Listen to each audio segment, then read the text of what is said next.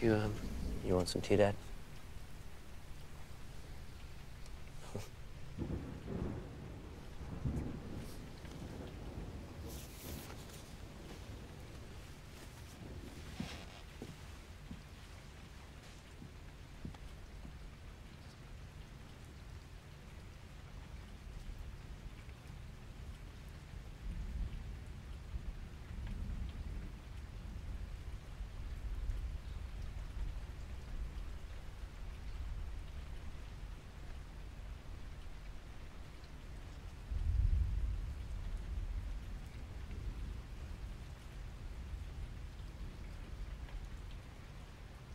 You